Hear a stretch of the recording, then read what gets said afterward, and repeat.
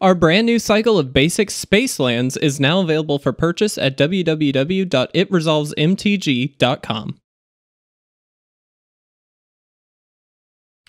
What's going on guys? Welcome to another gameplay video. I hope you guys are having a fantastic week so far. Uh, it's been very busy for me, but I'm very excited to be jumping into a little bit of gameplay today. So uh, we're trying something a little bit different. Normally, um, when I when I think of humans in the current standard metagame, I, I tend to think a little bit more Mardu humans. Uh, we've got quite a few decks running around with the Mardu list, um, and it's very, very good. It's very powerful. Uh, in searching through some deck lists this morning and trying to determine what I wanted to play, uh, I did kind of land on a humans deck, but I found an Esper humans list that I really, really enjoy. Uh, I've actually played a good bit with this deck. Not necessarily going to win every single game as as far as what I have seen, um, but it does some really interesting things that I want to talk about. Uh, and and when I say this as an overarching statement, what I mean by that is it it has the aggro uh, elements of a lot of the humans lists. Uh, but it also has a little bit of a control element that, that I really, really like. So we're going to get to see that hopefully played out a little bit as well, uh, but certainly as we go through the list. So uh, the, the curve does start at two here. So Hero of Precinct 1, one of the really, really big uh, flagship cards for this list. Anytime you cast a multicolored spell, you get a 1-1 white human creature token. Uh, obviously, as you can see, the majority of our deck, not all of it, but the majority of it uh, does uh, fit that build. A lot of it is multicolored stuff, and so anytime we play one of those spells, we get that 1-1. Now, what I love about that is that happens whether the spell is countered or not. and so uh, essentially you're just adding value. Even if you get countered, you, you still get a little 1-1 creature. It's not a lot, but it does add up very, very quickly in a deck like this, so very happy with that. Uh, General's Enforcer here, uh, really to protect some of our legendary humans, uh, in particular Teysa, uh, as well as the General here are two cards that are really, really great for protection. Uh, it's also just a nice 2-3 for 2, which is just kind of good value. It, it matches up well against a lot of other things. Uh, but on top of that, it can also spit out white human soldiers uh, on top of exiling cards out of the graveyard, which is really, really crucial against a lot of decks right now. Uh, we were in in practicing this list. I, I, was up against a Dance of the Manse deck, uh, and it was it was rough. So this actually did come in handy that time. Uh, very, very good card. Uh, to look at some control pieces here, Dire Tactics not a not a leap for this deck at all. Uh, we we obviously are going to have a high capacity of humans out on the field, hopefully, uh, and so this is just two mana exile a creature, which is very very good uh, at instant speed nonetheless. So very happy to see three of those in here. Uh, Thought Erasure as a four of this is one of the first kind of inklings that we're getting of this isn't just your standard, you know, aggro list. Thought Erasure has no place in an aggro list. However, uh, when you've got things like Hero of Precinct 1 where you get a 1-1 creature, you get to pull a card from the hand, and you get to fix the top of your deck a little bit, all of a sudden for 2 mana you are getting a lot a lot of value. Uh, and so this actually comes in handy quite often. Uh, obviously, not always going to be playing it on two, depending on what we've got in our hand, but the idea would be to get Hero out first, then play the Thought Erasure. Uh, General Kudro, pretty obvious include. It's a lord for all of our humans. Uh, when it or another human enters the battlefield, we also get to exile a card from the opponent's graveyard. Uh, so again, seeing that General Enforcer kind of uh, in tandem with General Kudro really, really helps us kind of manage the graveyard. That's something that we have to do in, in the current standard metagame. Uh, Bastion of Remembrance, a really, really great card. It not only spits out a 1-1 and is an enchantment, which gives us a little bit of a different axis to kind of attack on, uh, but whenever a creature you control dies, you drain a life. Uh, what's great about that is obviously we've got a lot of creatures, uh, and so you know we're spitting out tokens, doing that kind of stuff. Anytime any one of those dies, we gets to we we get to drain a life, uh, which is really really good. Now in tandem with things like Teysa, we get to double up on those triggers. So uh, anytime this triggers, we get an extra trigger because it, uh, an ability was triggered because of a creature dying. uh, creature tokens also, uh, with Teysa out, get Vigilance and Lifelink, which is a really nice way to kind of keep yourself alive as well as remain on the defensive. Uh, two Teysas in this list. Uh, on top of that, we have Kaya's Wrath, uh, which is really interesting. So, uh, destroy all creatures. so it's a sweeper. Again, something you wouldn't expect in a humans list, but uh, you gain life equal to the number of creatures destroyed this way that you control.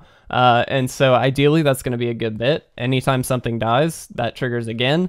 Uh, with Bastion of Remembrance out, we get to essentially combo kill our opponent if we get the right setup. Uh, certainly that's not what we're going for, but that can actually happen. It's very, very sweet.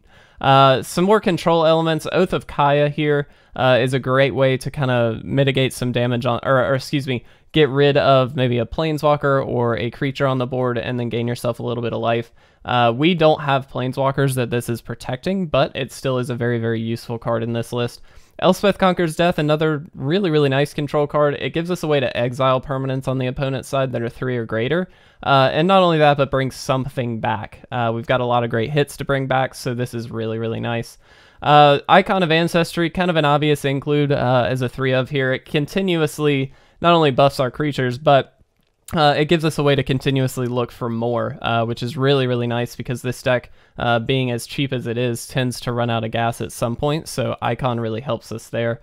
Uh, and then the last card here is Elite Guard Mage. So again, a bit of an obvious include, a 2-3 flyer, gives us a little bit of that uh, interaction in the sky, also gains us life and draws us a card, so very, very powerful. Uh, that's pretty much the list. As far as lands go, if I'm not mistaken, we are at 24. We've got two Castle Locthwain, two Ardenvale, and two Vantress. We've got a lot of castles in this list, which do come in handy. Uh, one plains, one island, and one swamp. Uh, four Hallowed Fountain, four Godless Shrine, four Watery Grave, and then one of each of the temples. No Fabled Passage, nothing like that. Uh, try to avoid tap lands in this one, but there are actually, you know, a, a, new, a number of occasions where it's kind of okay uh, turn one, especially turn three, every once in a while, you kind of you, you get yourself into a position where it's kind of okay to drop out. Uh, you know, a two uh, a two drop on turn two, and then on turn turn three, you get to kind of do it again. Uh, so it actually works out pretty well. Um, we are dropping frames a little bit here. I'm gonna go ahead and we'll try and re-queue up. Uh, unfortunately, that happens every once in a while, so hopefully this uh, this fixes it. Uh, just want to mention uh, to everybody out there. Uh, we really do appreciate the support lately. Um, I I'm continuously astounded. I'm a, I'm a big analytics guy, uh, and being that YouTube gives us a lot of analytics, um, it's really fun to kind of look through and see the progression uh, in the last month or two. Uh, and it certainly is much appreciated by all of you. So thank you seriously to all of you guys. It it means quite a lot. Uh, this is a bit of an interesting hand. We're lacking that blue mana. Um, we do have a nice hero with a backup Dire here, which is kind of nice. I'm going to try this. It's a bit of a sketchy keep, uh, no doubt. So we'll we'll hopefully be able to draw a land here, specifically a blue land, so we can get to that elite guard mage, which, oh, such a good card. Um, okay, well, that's not one, but that's okay. Um, Bastion's actually good. I'm going to keep that on top. Uh, that just gives us a good solid three drop. Uh, depending on what the opponent does, it, it gives us an option here. Um, let's go ahead. Let's just drop this, and we'll drop that hero now. um, and then next turn, we'll we'll see what we need to do. We may. Um, it looks like we'll probably just Bastion. Uh, certainly, they're going to be able to play something pretty big on their turn. Uh, but again, that's why we have the dire tactics backup. So I'm quite okay with that. Uh, looks like classic Simic ramp, which is very strong right now and going to get stronger uh, without a doubt. That's actually nice uh, as well. Let's go ahead and do this, and we'll do this. Uh, not a super exciting play, unfortunately, but we are kind of in setup mode uh, for the first few turns. That tends to be the case with this list, uh, unless you can really, really get um, you know, strong aggro hand, which this, you know, we had some pieces, but not not not what we wanted for sure. Uh, that's fine. Um, we can again dire tactics that if we need to, and that's totally fine by me. That's very helpful. Um, and I think in that case, this changes the math a little bit. Uh, so let's go ahead and do this. Against this mutate deck, we are you know, hoping to get max value off of our dire tactics, but we also have to be quite careful because, you know, if they um if they have the right stuff, we're gonna be in big, big trouble. Uh a Starrix would be really not good. Um just because they're gonna get two for one value minimum uh off of that. Um but, you know, we'll we'll do what we can. Uh luckily against these decks, Kaya's Wrath, again, kind of gives us an out. We've we what's what I think is really great about this deck is that we almost always have an out. Um, it's not always perfect, it's not always amazing, but we we do have one. uh, which is just just sweep the board. Um, and we get more value off of that, obviously, than the opponent by a long way, despite losing quite a number of creatures. Um, here they get to kill the Bastion, um, but they do leave themselves open here to double dire tactics, which is kind of nice, uh, to be honest. Um, so we do have to shock ourselves here, but I think we're going to take the opportunity, or do we just Elspeth Conquers Death? Hmm. Um, not 100% sure. I don't think we do. Um, I think we're going to double dire tactics here. Uh, the other option would be to play Path of Ancestry, but I don't think we want to. I think we just want to get all these mutators off the field. That way, um, we've got a clean attack here, but also they don't get extra value off of, you know, multiple mutates or anything like that. So we will see. Hopefully that was the right play. We do get to play the icon this coming turn and really kind of go ham. Um, we do know now they don't have lands in hand. Okay, uh, good thing about this is it's a great target for Elspeth Conquers Death. So, um, not too upset, actually. Uh, let's go ahead and do this now. Uh, we will play out the land here, and we'll just attack with our uh, our elite guard mage. This is definitely annoying, um, but at least we got rid of the Starrix. I think that's a pretty big one to get rid of for sure. Uh, this is going to kill the Elspeth Conquers Death. I don't actually mind that all that much. Uh, it's annoying, but it's not really the worst thing in the world um, because we don't really have much in our graveyard anyway. Uh, so sure, that works. Um, yeah, absolutely. They're, they're very, very correct in spreading this damage out a little bit, uh, at least as best they can. So I think that's smart on their end. Uh, let's go ahead and play this. Let's go ahead and play this. We're just kind of flooding the board at this point. They're not going to be running sweepers, most likely at least. Um, and so I feel more confident at least in doing this. We'll just attack here with the guard mage. Um, I don't think there's a reason. This does have reach, actually. That was a mistake. Um, whoops. uh, always forget that this has reach. That was a bit of a quick play on my end. Sorry, guys. Um, but that's okay. We will, uh, we'll see what they want to do. Um, I was just getting something in the graveyard for our future Elspeth Conquers Death. So, like, obviously. oh, man. Um, hopefully, like I said, you guys are having a fantastic week. Let me know what your plans are. Uh, I would love to know what are you planning this weekend, this upcoming weekend? Are you doing anything fun? Are you hanging out with anybody? Are you playing some magic? Doing anything magic related? I hope so. Um, Risen Reef, huh? Sure. Um, so now we, I mean, they're very well set up for sure. Um, but to be honest, we kind of are also. Uh, and so I'm not super upset about that. We're going to play out this, I think. That seems like the right thing to do. Um, and let's go ahead and... Ooh, we missed. That's okay. Um, all right, so we're just going to start swinging in, I think. Uh, we kind of have to be aggressive here because otherwise they're going to outvalue us based on what this deck is. Uh, and so I think this is correct to, to do this. Uh, we also get Risen Reef off the field, which is very, very important. Um, and get them to a point where, you know, lethal damage is coming uh, for sure. Now they can uh, they can escape a Uro here, which is going to be really, really good for them. Um, but we've got Icon of Ancestry to help dig us into some stuff if we need to, so feel okay about that. Okay. They get to kill one of our icons. Sure. That definitely hurts us. Um, does that really, like, solve their problem, though? I'm not sure. Um, it gets them out of lethal range, for sure, but... We will see. They get to draw a card. Ho hopefully they don't hit a land, but that's fine. All right. Let's see what we can do here.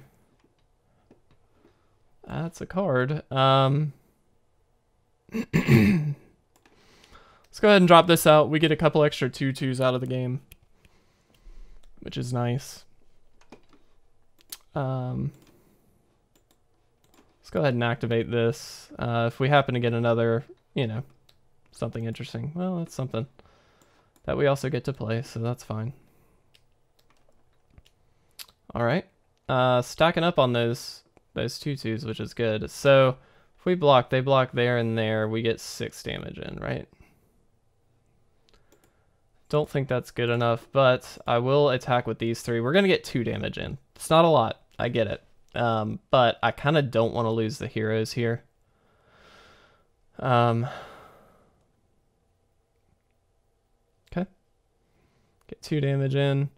We've got more than enough blockers that we could uh, easily block any oncoming, oncoming, oncoming attacks. I, I swear I can speak. Um, and next turn we can obviously kind of go ham. Okay.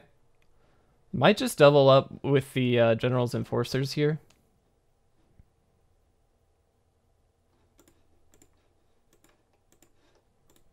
Uh, they're going to take one of them out, but that keeps them from killing like three of our tutus, for instance. If we were to triple block with the tutus, they get all of them.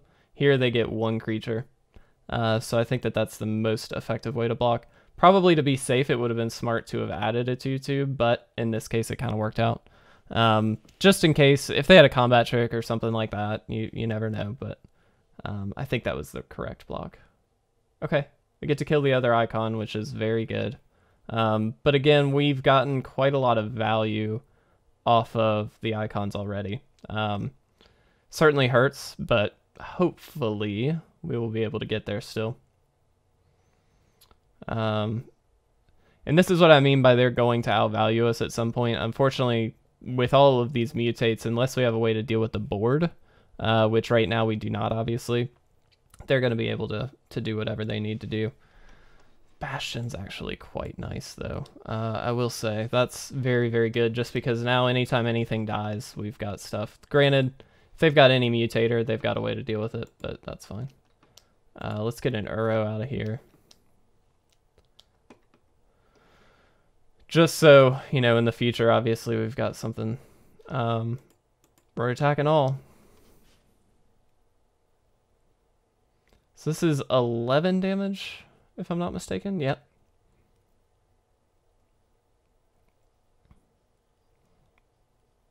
Okay. I mean, at the very least, we're pushing we're pushing pretty heavily here. Um, that's that's all we I think we can ask for, uh, given the current state of things. But they obviously, I think, um, my guess is eventually they're going to outvalue. Granted, two scries at the bottom is nice. Um, they probably should have done that first, but that's okay. We'll see what they do. Um, okay. Is that, that's not actually all that good, is it? They get to bounce Gilded Goose, maybe? Sure. Or they just get to like untap something, which is pretty good. Um, but again, anytime they kill, they block and kill a creature, we're draining for life. So like, kind of okay. Um, it's not perfect, but it's okay. Wow, okay, yeah. Didn't think too much about that, but that's actually okay. Oh. There it is. Or Kaya's Wrathing. I love it. All right, yeah, gain your three. It's totally fine. And there it is. I can't believe we got there. Heck yes. That's what we were looking for. Oh, finally. That was sweet. All right. Um, so I will say, I, I like I said at the beginning of this video, I've play tested this deck a good bit already. Uh, I played a handful of games with this before jumping on, and as as cool as that interaction that we just saw is, that never happened to me in playtesting. That's the first time that we've been able to to win off of a Kaya's Wrath, uh, which is so sweet. Um, so I'm I'm stoked. That that made me uh, that, that made my day. That just made me so happy. Uh, all right, let's jump into uh, the next game here. Uh, this is a keep, but it's a bit of an interesting one again. Um, this time we don't really need the color. We I mean we need blue eventually, um, but we've got a nice two three here uh, a very nice two three in fact. So, uh, and they are all on all they are on a mulligan. Goodness gracious. Um, do we keep the bastion? ugh. I'm gonna say yes. Um, that might be incorrect. Honestly, the correct thing I think would be to dig for a blue land, uh, or just a fifth land, so we have Elspeth Conquers Death mana. But eh, it's fine. Everything's fine. They did tap for black. Uh, don't know if they're actually gonna use it. Nope. Okay. Cool. Well, sure. Um, General's Enforcer out. Next turn, hopefully just dropping the General. uh, and then we can start playing out these Bastions. Uh, looks like probably a Mutate deck as well. Just um, Sultai Mutate, maybe.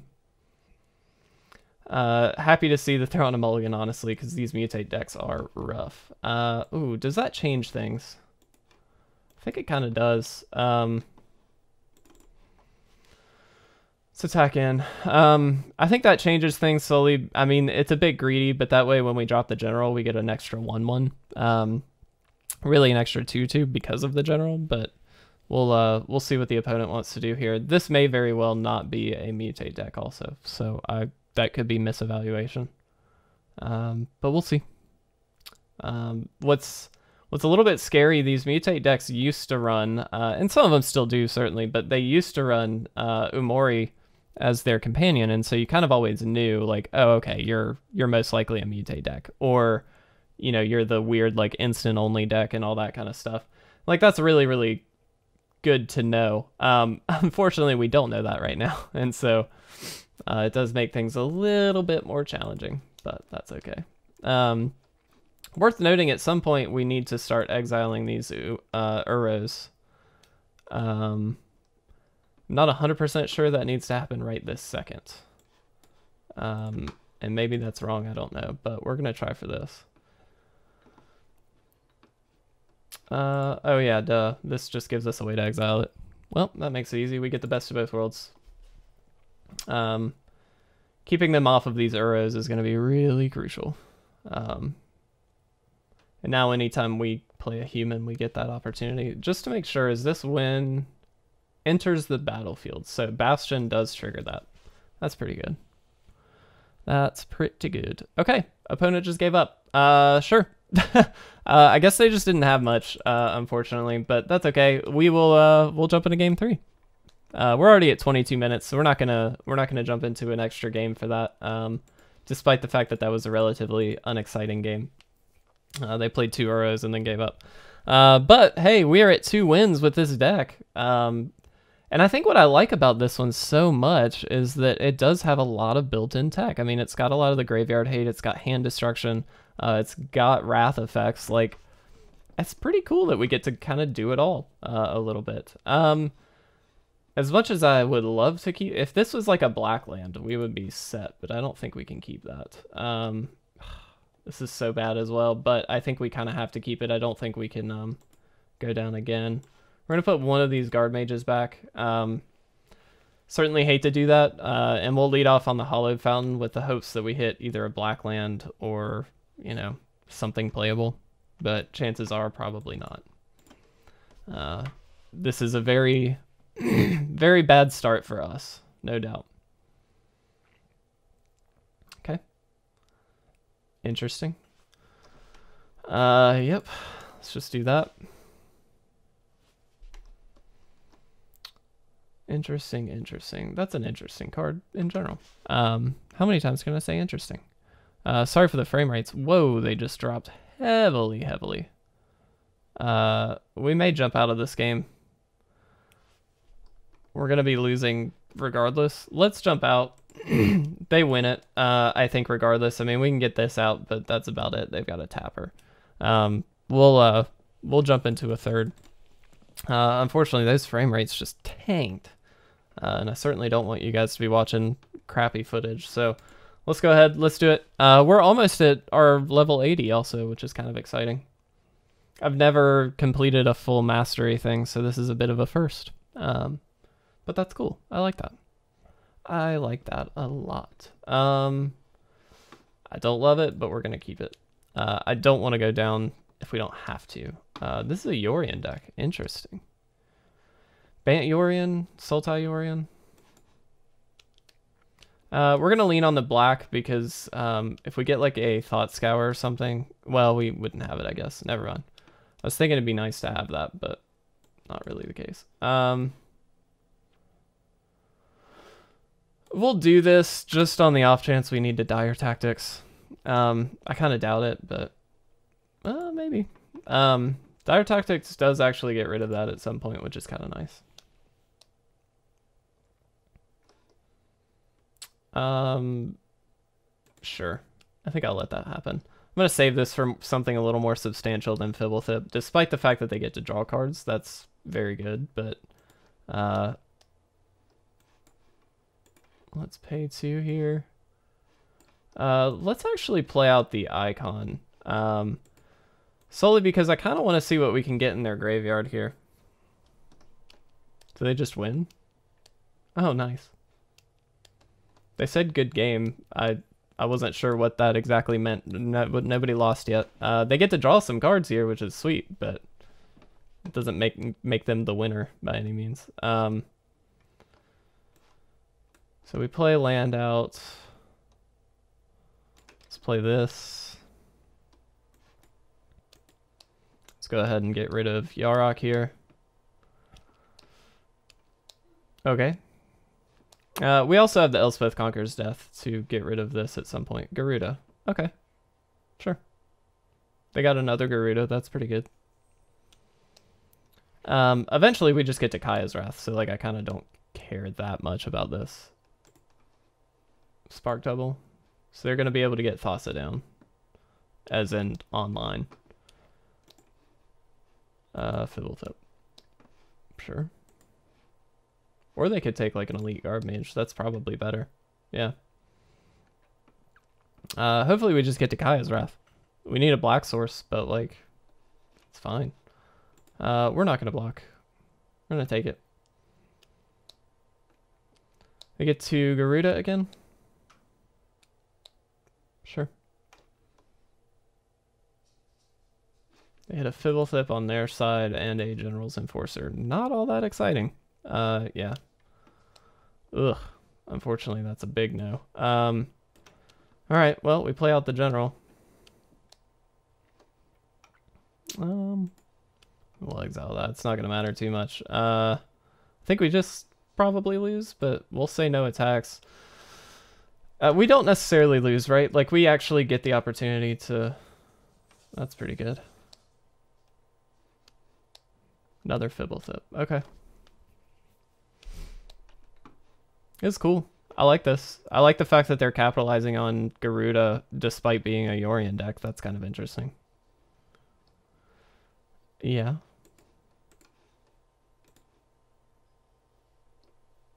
That was not as bad of an attack as I thought it would be.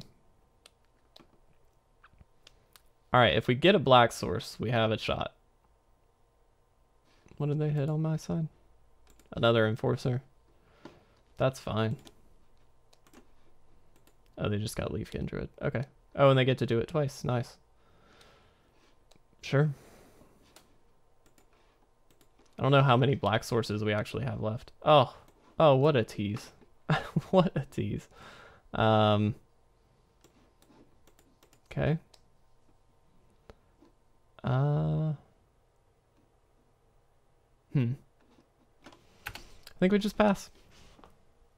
We get to block and then uh, use the general's ability. So we mitigate the damage, but I think we just lose anyway. We'll see. We will see. Six, seven. Wow.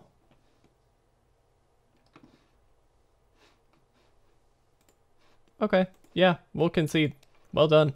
Um, not worth fighting that one out. They were going to mill us, so there was no reason to. But hey, regardless, I think we did okay with this deck. Uh, Esper Humans, a little bit of a different strategy, but I really, really like it. Uh, I'm enjoying this deck quite a lot.